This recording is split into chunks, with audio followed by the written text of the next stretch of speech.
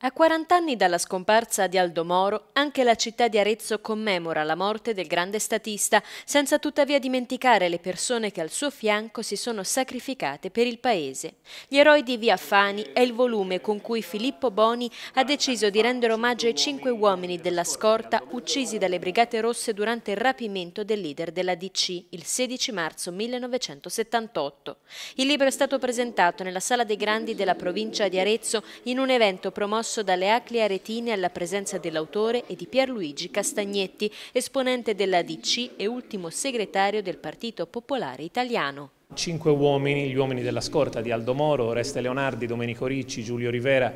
eh, Iozzino e Francesco Zizzi che morirono il 16 marzo del 1978 in via Fani. Da allora cinque nomi, in realtà eh, la memoria si è cancellata, sulle loro vite, sui loro trascorsi, sulle loro storie si è in qualche modo calato il sipario, pochi giorni dopo, durante i funerali del 18 marzo, e nessuno più li ha ricordati. Per un espediente di carattere puramente familiare, come può accadere a milioni di esseri umani, mi sono rimesso sulle tracce di questi uomini e nel corso del 2016 ho ripercorso circa 5.000 km alla ricerca delle loro vite, delle loro storie, della memoria perduta di ciò che hanno lasciato, diciamo, le loro vite e il loro sacrificio per, per l'Italia, per la Costituzione italiana, per difendere la nostra Costituzione. Io credo che ci sia la curiosità di scoprire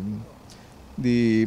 ritrovare pensieri solidi, pensieri forti, ideali e soprattutto verificare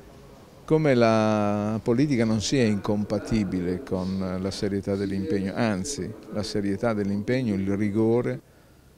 e lo spessore etico dell'impegno sono la ragione che giustifica la politica. La politica quando è seria, quando ha disegni, non allontana la gente, anzi la gente eh, cerca proprio questo.